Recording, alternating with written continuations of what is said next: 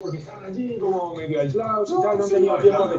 Sí, sí, aislados. A ver, no, no, porque tienen, mal tren, eso sí. Pues tienen mal tren y eso ha sido bueno para ellos, porque no tienen contacto con gilipollas y ves, pueden seguir siendo majos. A mucha gente es muy probable que tengas contacto con muchos gilipollas. Y eso te marca el carácter.